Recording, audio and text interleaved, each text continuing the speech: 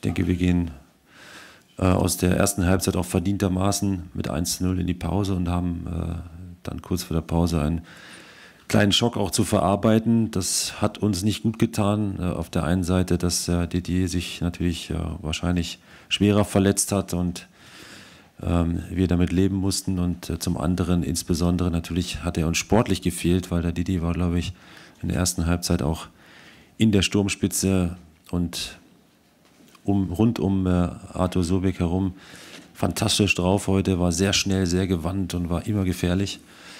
Er hat uns natürlich wahnsinnig gefehlt. Wir mussten dann in der zweiten Halbzeit zudem noch den äh, Jan Schlaudraff frühzeitig rausnehmen aufgrund einer Rückenproblematik, sodass wir eigentlich im Zug nach vorne danach wenig zu bieten hatten.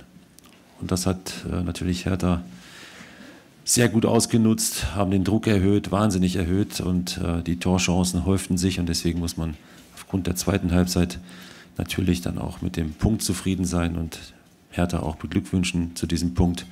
Aber das haben sie sich wirklich redlich verdient und hart erarbeitet.